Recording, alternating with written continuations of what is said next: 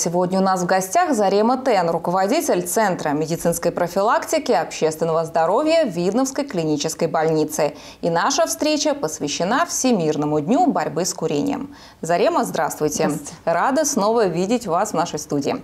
А, расскажите, есть ли какая-то статистика в нашей стране о людях, подверженных этой вредной привычке? Да, безусловно, это очень важная тема, и подсчет тот или иной пациентов, э, которые граждан, которые э, курят или употребляют табак, э, ведется регулярно, каждый год. Во всем мире вообще, в принципе, давно уже борются с этой проблемой и ведут обязательно статистические данные.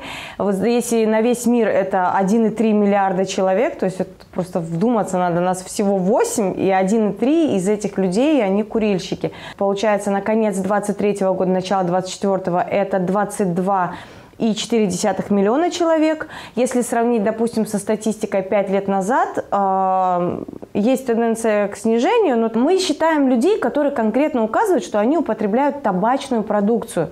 К сожалению, большинство людей, которые употребляют электронные сигареты, или электронные кальяны, они не считают это курением. И то есть они приходят даже элементарно на тот же осмотр, диспансеризацию э, к врачу, и там есть всегда в анкете вопрос, курите ли вы. Они всегда пишут «нет». И мы понимаем, что человек как бы, да, он сигареты не курит, но он выбрал альтернативу для них.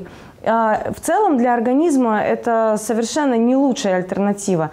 Не так давно, буквально вот, мне кажется, год назад, наша коллега, э, заведующая э, отделением профилактики города Видное э, Лариса Владимировна Соловьева, выступала для телеканала «Вести». Мы выпускали репортаж о том, как одна из пациентов – проходила полное медицинское обследование, э, в том числе и легочной системы, э, потому что она употребляла с 18 лет э, электронные сигареты и электронный кальян. И вот мы, наверное, не сильно были удивлены, а вот девушка, которая проходила это обследование, она, конечно, была удивлена, когда ей сообщили, что на таком обследовании, как спирометрия, это где измеряется функция внешнего дыхания, это когда э, мы узнаем, насколько легкие у пациента выполняют свою полноценную функцию – то есть какой а, объем воздуха, нормально ли он циркулирует. Вот есть различные показатели.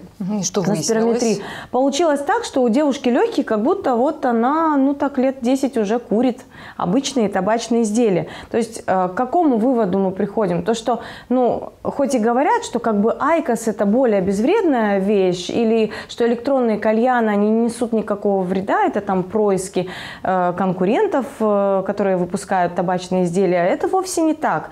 То есть мне как медику прям вот сто процентов понятно, что все-таки вред от этого есть. А для окружающих электронные сигареты также вредны, как а, обычные?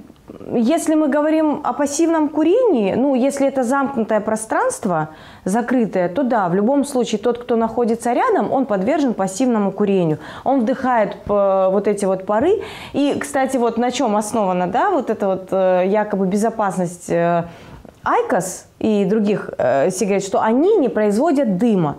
То есть это внутреннее сгорание, которое потребляет только тот, кто потребляет.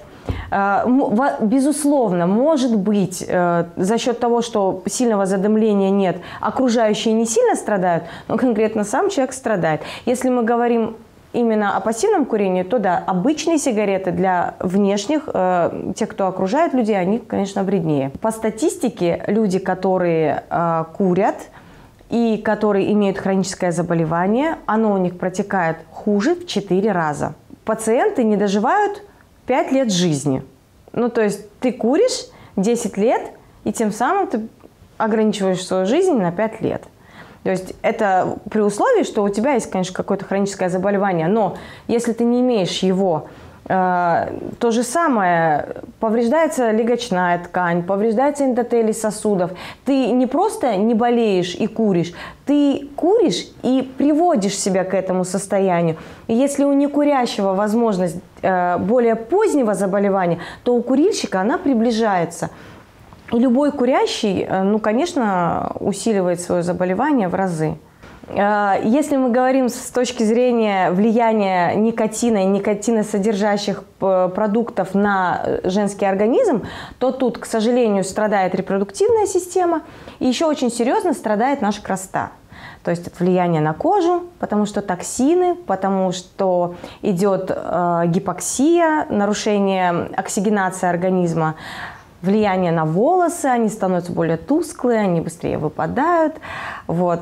Ну, ну вот Зарема, а вообще какие-то проводятся мероприятия, не только приуроченные к, ко дню борьбы с курением, но и в течение, да. наверное, всего года? Да, конечно. У нас Э, касаемо именно профилактики курения, очень много различных направлений. Мы работаем и с э, школьниками, мы работаем с э, учащимися колледжей, эм, сотрудниками других организаций, с внутренними сотрудниками. То есть у нас есть корпоративная программа, которая позволяет нам проводить встречи с участием психологов, внутренних сотрудников, эм, ну, так сказать, уговаривать их вести более правильный образ жизни. То же самое с пациентами, у нас есть, работают психологи. Если вдруг кто-то решил бросить курить, а это ведь не так просто на самом деле, пока сам человек вот сто процентов для себя не решит, он не бросит курить. Если кого-то что-то беспокоит, он может обратиться за медицинской помощью, сказать, я хочу курить, э, бросить курить, я хочу, вот помогите мне, ну, мы поможем. Спасибо большое за информацию, Зарема. Я напоминаю, что у нас в гостях была Зарема Тен, руководитель Центра медицинской профилактики общественного здоровья Видновской клинической больницы.